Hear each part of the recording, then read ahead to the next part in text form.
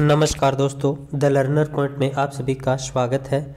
इस वीडियो में दोस्तों अपन करेंगे आरपीएससी, फ़र्स्ट ग्रेड का जो फ़र्स्ट पेपर है हिस्ट्री का, उसमें गुप्तकालीन कला, साहित्य और विज्ञान। पिछले वीडियो के अंदर दोस्तों, अपन मौर्यकालीन कला, साहित्य और विज्ञान का टॉपिक है। उसके सारे महत्वपूर्ण प्रश्न किए थे। इसमें भी दोस्तों महत्वपूर्ण प्रश्न रहेंगे। आप इनमें से कितने सही कर पाते हैं कमेंट बॉक्स में ज़रूर बताना। और दोस्तों, अपने वीडियो को अपने दोस्तों में शेयर ज़रूर किया करें आप।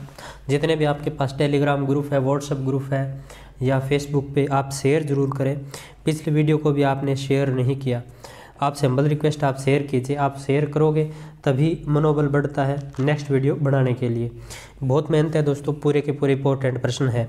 तो चलिए दोस्तों, शुरू करते हैं आज की क्लास पहला प्रश्न देखिए, आपके सामने स्क्रीन के ऊपर ये रहा। पहली बार किस काल में मंदिर निर्माण शुरू हुआ? पहली बार किस काल में मंदिर निर्माण शुरू हुआ? गुप्त काल, मौर्य काल, कुषाण काल, या इनमें से कोई नहीं। तो देखिए दोस्तों, इसका राइट आंसर क्या हो जाएगा? पहली बार किस काल में मंदिर निर्माण शुरू हुआ था? तो गुप्त काल में शुरू हुआ था। ए वाला ऑप्शन है वो राइट हो जाएगा। पूरी डिटेल इसके बारे में बताऊँ दोस्तों आपको। तो जो गुप्त काल है, इसके अंदर मंदिर निर्माण है, वो सबसे पहले शुरू हुए थे। अधिकांशतः मंदिर विष्णु के बनाए गए थे। और बाकी दोस्तों मैं बताऊँगा नहीं, क्योंकि यहाँ से प्रश्न उठाए गए हैं। तो नेक्स्ट देखिए अगला प्रश्न आपके सामने स्क्रीन के ऊपर यह रहा। गुप्त काल में अधिकांश मंदिर किस शैली में बने हुए हैं? गुप्त काल में अधिकांश मंदिर किस शैली में बने हुए हैं? द्रविड़ शैली, नागर शैली, बेसर शैली या इनमें से कोई नहीं। तो गुप्त काल में अधिकांश मंदिर है, वो किस शैली के अंदर बने हुए हैं? तो नागर शैली में बने हुए हैं। ब है, वो राइट हो जाएगा।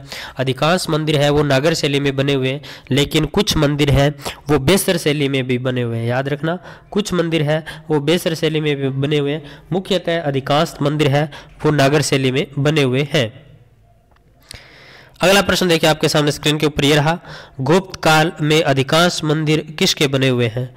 गुप्त काल में अधिकांश मंदिर किसके बने हुए हैं? शिव, पार्वती, विष्णु, राम, लक्ष्मण या कोई नहीं। तो गुप्त काल में जो अधिकांश मंदिर हैं, वो दोस्तों किसके बने हुए हैं? तो इसका राइट आंसर हो जाएगा भगवान विष्णु के बने हुए हैं। अधिकांश मंदिर है, वो भगवान विष्णु के बने हुए हैं गुप्त काल के अंदर। अगला प्रश्न देखिए, आपके सामने स्क्रीन पर ये रहा। तिगवा का विष्णु मंदिर किस राज्य में स्थित है? तिगवा का विष्णु मंदिर किस राज्य में स्थित है?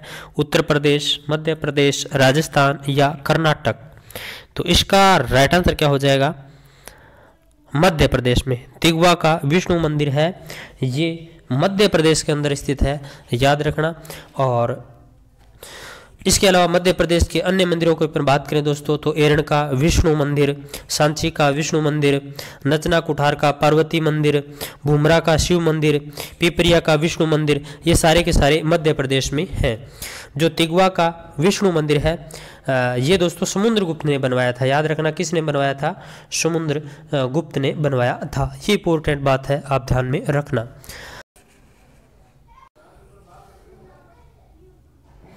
अगला प्रश्न देखिए आपके सामने स्क्रीन के ऊपर ये रहा, देवगढ़ का दशावतार मंदिर किस राज्य में स्थित है? मध्य प्रदेश, बिहार, उत्तर प्रदेश या झारखंड? तो इसका राइट आंसर हो जाएगा देवगढ़ का दशावतार मंदिर है। ये दोस्तों कहाँ स्थित है? उत्तर प्रदेश। उत्तर प्रदेश में भी यदि आपसे पूछ ले तो ललितपुर, झांसी में स्थित है ये। विष्णु शयन अवस्था में है। देवगढ़ का जो दशावतार मंदिर है ये विष्णु का मंदिर है और विष्णु दोस्तों इसमें शयन अवस्था में है। ध्यान रखना, किस अवस्था में? शयन अवस्था में। और दोस्तों गुप्त काल की जो मंदिर स्थापत्य की जो सारी विशेषताएँ हैं, वो इस मंदिर के अंदर मिलती है। इस कारण इस मंदिर को सर्वश्रेष्ठ मंदिर कहते हैं, नागर शैली का यह पहला पुरातात्विक प्रमाण है। अगला प्रश्न देखिए आपके सामने स्क्रीन के ऊपर यह रहा, एलोरा की गुफाएँ किस राज्य में स्थित है? एलोरा की गुफाएँ किस राज्य में स्थित है? मध्य प्रदेश, महाराष्ट्र, कर्नाटक या उत्तर प्रदेश? तो इसका राइट आंसर हो जाएगा दोस्तों, एलोरा की गुफाएँ हैं। ये महाराष्ट्र राज्य में स्थित है। किस राज्य में? महाराष्ट्र राज्य में स्थित है। एलोरा की गुफाएँ किस राज्य में स्थित है? महाराष्ट्र राज्य के अंदर स्थित है। वेरी वेरी इंपॉर्टेंट है। आप इस चीज़ को ध्यान में रखना। इसके अलावा अजंता की गुफाएँ हैं। अजंता की गुफाएँ भी दोस्तों महाराष्ट्र राज्य में स्थित है। उदयगिरी की गुफाएँ मध्य प्रदेश में स्थित है। उदयगिरी की गुफाएँ हैं वो मध्य प्रदेश में है। अगला प्रश्न देखिए आपके सामने स्क्रीन के ऊपर ये रहा। प्रश्न ये है, काव्य अलंकार किसकी रचना है? काव्य अलंकार किसकी रचना है? वामन, कालिदास, अमर सिंह या शुभंदु? अच्छा प्रश्न है ये। तो काव्य अलंकार दोस्तों वामन की रचना है, किसकी है? वामन की रचना है, काव्य अलंकार रचना वामन की। और दोस्तों जो अजंता की गुफाएँ हैं, उसमें कुल गुफाएँ यदि आपसे पूछ ले तो तीस, वैसे दोस्तों उनतीस है। उनतीस पूर्ण है, एक पूर्ण गुफा है, जिनमें से चौबीस विहार पाँच चैत्य है। ये चीज़ आप ध्यान में रखना। अगला प्रश्न देखिए, आपके सामने स्क्रीन के ऊपर ये रहा, समुद्रगुप्त की प्रयाग प्रशस्ति किस मुगल शासक समुद्रगुप्त की प्रयाग प्रशस्ति पर किस मुगल शासक का उल्लेख उत्कीर्ण है? अच्छा प्रश्न है, समुद्रगुप्त की प्रयाग प्रशस्ति पर किस मुगल शासक का लेख उत्कीर्ण है? अकबर, जहांगीर, शाहजहां, दारा शिकोह। तो इसका राइट आंसर क्या हो जाएगा? आठ का। बे वाला ऑप्शन राइट हो जाएगा जहांगीर। अगला प्रश्न देखिए आपके सामने स्क्रीन के ऊपर ये रहा। कौन सा चीनी यात्री गुप्त काल की दशा का वर्णन करता है? कौन सा गुप्तकालीन कौन सा चीनी यात्री गुप्तकालीन दशा का वर्णन करता है? वेनिशांग फायान, इत्सिंग या कोई नहीं। तो इसका राइट आंसर क्या हो जाएगा? फायान।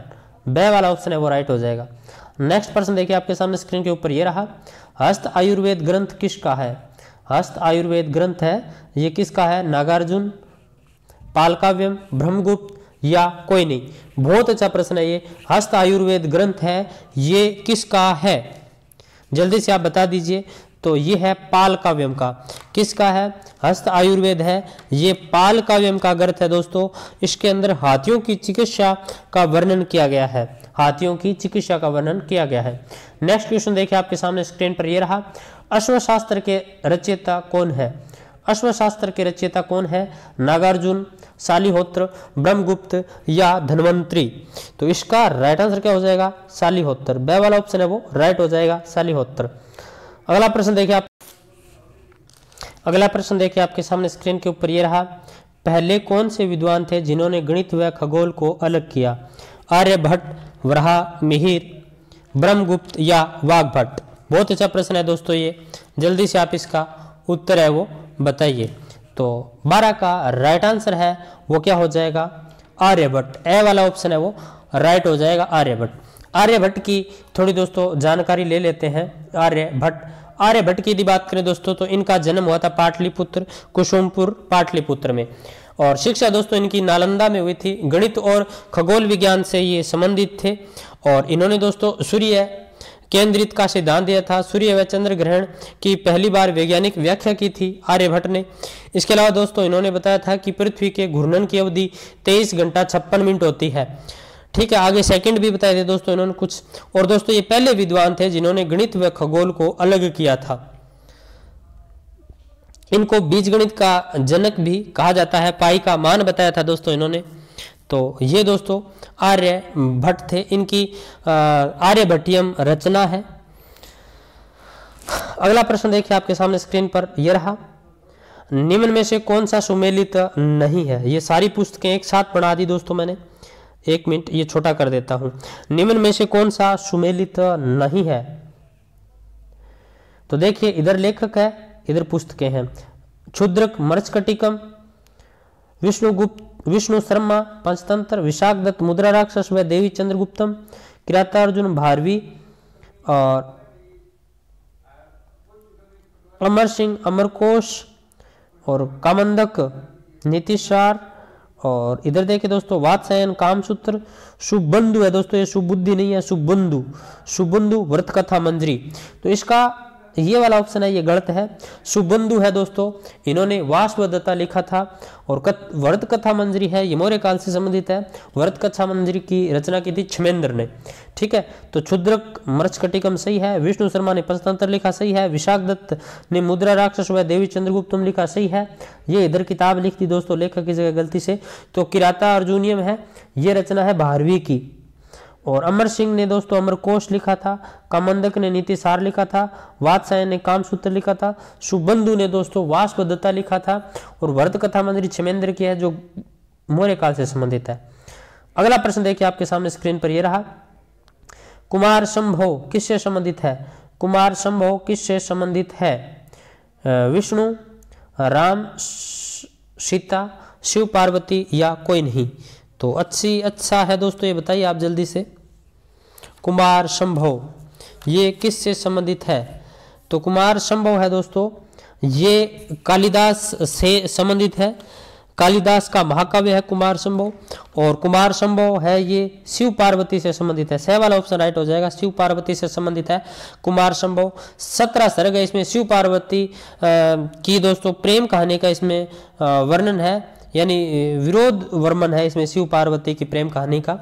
और कालिदास के बारे में यदि बात करें दोस्तों तो कालिदास ने कई रचनाएँ हैं कालिदास की। ऋतुसार मेघदूत ये खंड काव्य है इनका रघुवंश कुमार समूह महाकाव्य है। तीन नाटक लिखे थे मालविकाग्निमित्रम अभी ज्ञान शाकुंतलम विक्रमो विक्रमोत्सर्गी विक्रमो वसर्गीय और इसके अलावा दोस्तों, कुंतलेश्वर देते हैं, ज्योतिष विधभरण ये इनकी कुछ रचनाएँ हैं कालिदास की।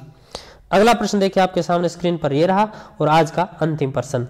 प्रश्न यह है, मरणासन की राजकुमारी का चित्र किस गुफा से संबंधित है? मरणासन की राजकुमारी मरणासन की राजकुमारी का चित्र किस गुफा से संबंधित है? सत्रह नंबर, सोलह नंबर उन्नीस नंबर या उनतीस नंबर। तो मरणासन की राजकुमारी से संबंधित दोस्तों, गुफा संख्या सोलह है, बहुत इंपॉर्टेंट है।